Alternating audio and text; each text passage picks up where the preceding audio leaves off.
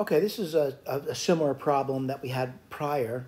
It's about the hands on a clock. And it says that what times between 4 and 5 o'clock are the hands of a watch at right angles to each other. So just a, you know, a little simplification of the problem by looking at a very simple picture. And uh, they're not asking for an approximate, they're actually, actually the exact time. But 4 o'clock, the um, hour hand would be there. And I'm sorry, the, um, the minute hand's there and the hour hand's over here. All right? And then it, the question becomes at 5 o'clock, right? Let's take a look at that. At 5 o'clock, right? Put a clock down over here and just visualizing. At 5 o'clock, the minute hand's here and the hour hand would be over here somewhere. All right? So I hope you realize as this thing kind of goes around that um, you know initially they're um, they're they're much greater than 90 degrees apart. But i hope you realize as you visualize this thing you know a little bit ahead a little ahead of schedule it's going to it's definitely going to hit right at a 90 degree angle. And you could approximate the time. And then it's going to pass the minute hand is going to pass the hour hand and there'll be another point in time. So i was going to say there's two points in time where this occurs. All right now I want to do the first one. All right. Someone says, how do you do that? Well, I think we've done something like this before. And the way Wells does it, the way I do it, I realize I read a lot of material over here is, you know, I go to I go through Wells' technique, but also want to go through my technique. All right. Now, sir, I shouldn't call it my technique. It's anyone's technique. I just my preference, I should say. What's my preference? Um, thinking and writing down the rates of the minute hand and the hour hand. So let me, let me just talk about the minute hand again for you.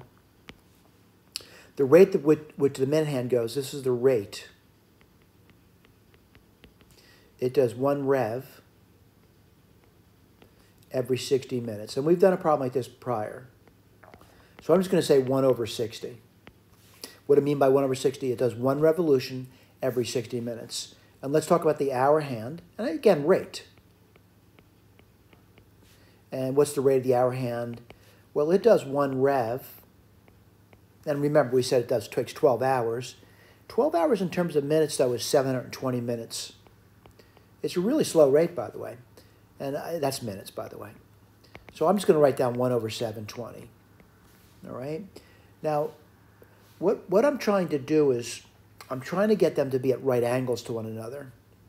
Right? So a right angle means they're separated by a quarter of a revolution. All right? So, so now becomes the problem over here is that I've got, you know, one case to do first. I'm, I'm thinking about it. And I realize the, um, the hour hand, it, it definitely has a head start. The question is how much of a head start? Well, it's a quarter, right? It's a quarter turn. This is initially what it has at the beginning of time. And then it's got, you know, one third of a quarter or one twelfth. And that would be 12, right? I'm talking about its head start in revolutions. So what do you get there? You get 3 plus 1, which is 4 twelfths, which is one third. That certainly stands to reason, by the way. You know, exactly at four o'clock, he's one third of a revolution ahead. Who we talk about the hour hand. All right. Now, I hope you realize that what I'm trying to do now is I'm trying to get their difference to be a quarter. I'm trying to get their difference to be a quarter. All right, let's write this difference down now. So I'll write this over here, and I'll go through the I'll go through the uh, algebra, but I want the difference to be a quarter. All right. So I want the difference between those guys to be one quarter of revolution, which is 90 degrees. They're at right angles to one another. So let's take a let's be careful about this. So I mean, the the the minute I mean the hour hand is already ahead by a third. Right, so he's ahead by a third. And then what? he starts to move, right? And how does he move? He moves at a rate every minute. He does 720, uh, 1 over 720 revs. All right. Now I got to start taking away because, you know, this guy, this minute hand starting to chase him, right? I want the difference to be a quarter. And how fast the minute hand going? It's going t over, whoops, that's t over 60. So this is the first time.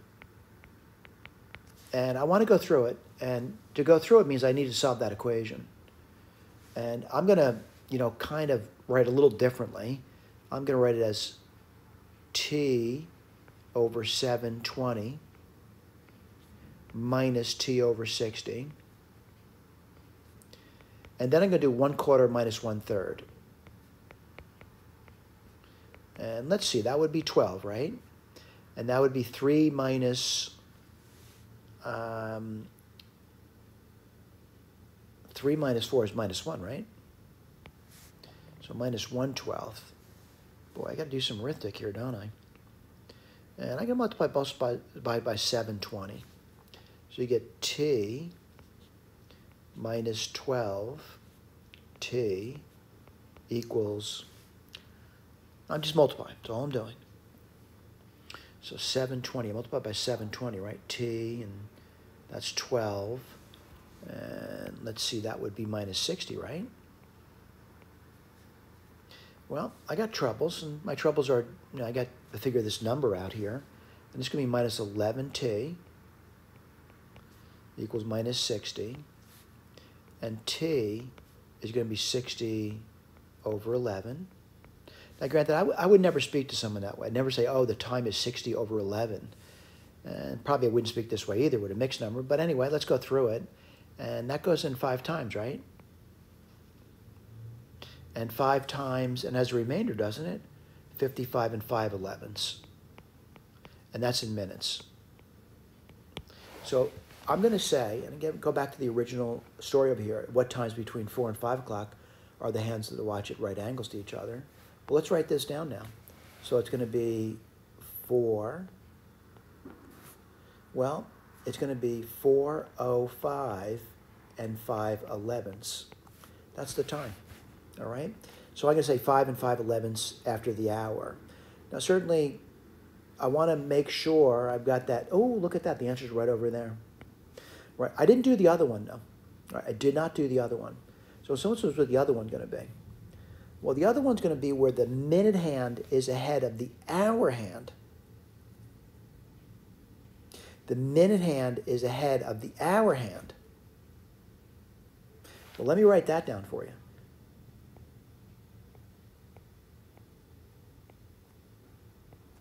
That's the minute hand.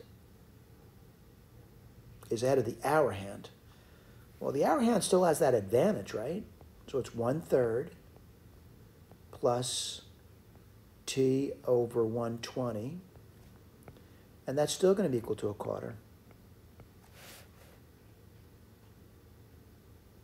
Let's see if we can solve that. So let me repeat this. The minute hand is ahead of the hour hand by a quarter now. But remember that that hour hand, that's 720 by the way. That hour hand had a head start. So I'm going to do the same thing.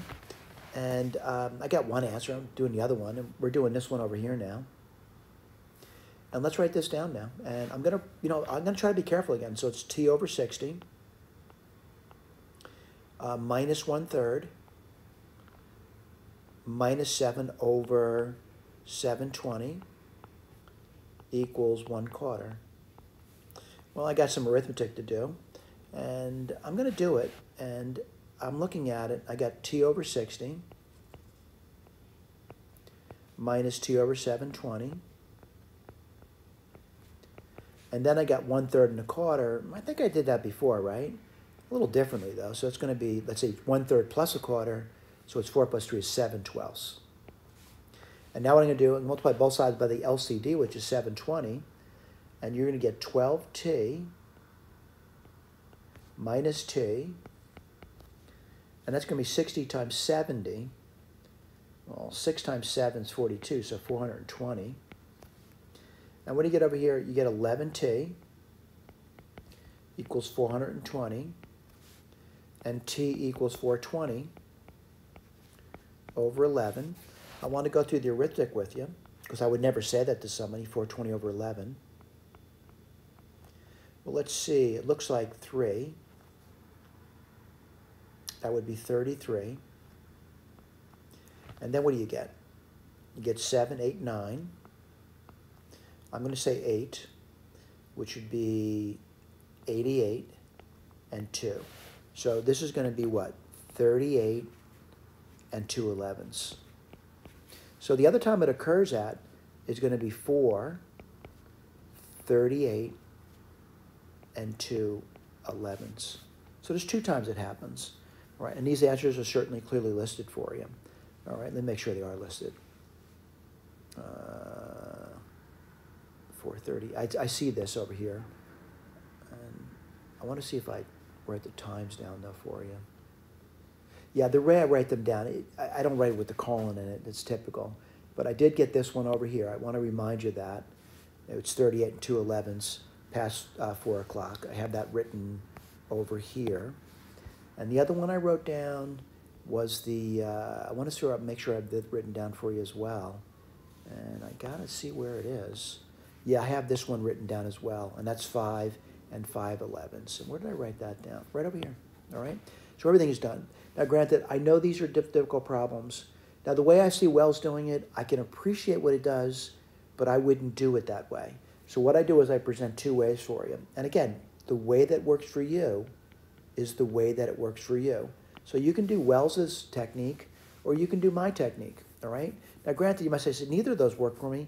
You know what? Go to YouTube and look for clock problems, right? Maybe they got a better way of you doing this thing over here. I only think these are, the, I would say, the two most clear way of doing things, but the fact that I think they're clear doesn't mean you think they're clear. All right, so I, I periodically I, I mention my name to you. My name is Ron Bannon. And if you've been watching my videos, you know my name is Ron Bannon by now. And again, if you need to reach out to me, my email address is Bannon. That's B as in boy, the at symbol, N-N-O-N dot U-S. And as long as I'm not overwhelmed, I'll, I'll, I'll try to respond to you. Okay? If I'm overwhelmed, we'll, we'll not be able to respond to you. Uh, these videos really don't get too popular, though. I'm not really sure um, if th there are popular math videos. I'm not saying otherwise, but a lot of math videos really are not very popular. They might get you know like 10 hits, 20 hits. Most people they watch 30 seconds and they stop. All right. But if you're paying attention and you're getting to the end of these videos, good for you. Thank you, and I do appreciate it. Thank you.